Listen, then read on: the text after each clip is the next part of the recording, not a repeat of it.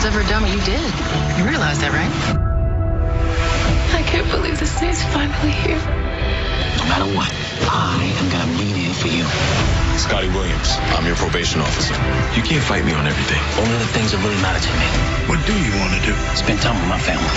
How old is you again? You won't. I'm offering a chance to make a real difference. You my public defender? I'm your lawyer, Aaron Wallace.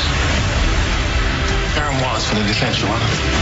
Tell me the truth here. Do I have a chance? We'll find a way. Well done, Mr. Wallace. I didn't know you were going to be practicing. I am, Your Honor. Then I guess we'll see you again. For life, all new next Wednesday on ABC.